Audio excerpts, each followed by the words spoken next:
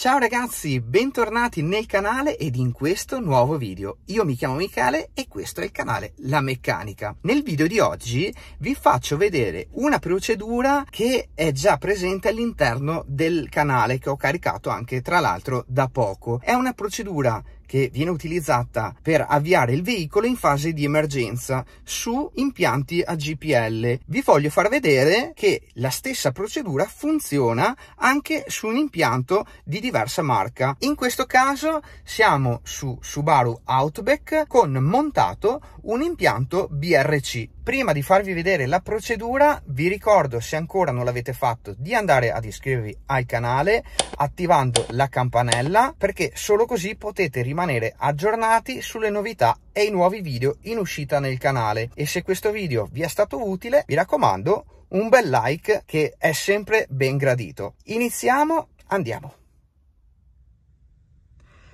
Come prima cosa andiamo a girare il quadro, in questo caso ci basterà andare a premere due volte il pulsante di accensione e qui troviamo il nostro commutatore a GPL. Dobbiamo andarlo a tenere premuto 5 secondi.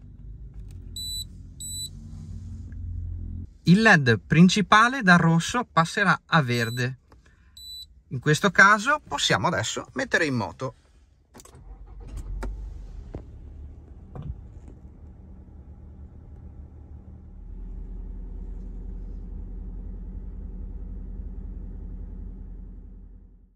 Attenzione, sono consentiti solamente 5 tentativi di avviamento di emergenza. Una volta superati si dovrà utilizzare una diagnosi per sbloccare la funzione di azzeramento del contattore, selezionando la regolazione cancella contattore avviamenti.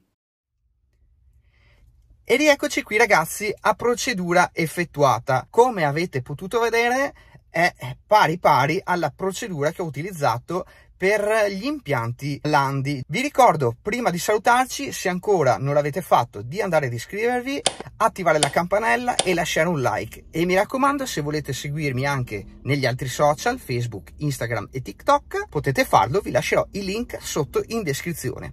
Per questo veloce video è tutto, noi come sempre ci vediamo a un prossimo video. Ciao!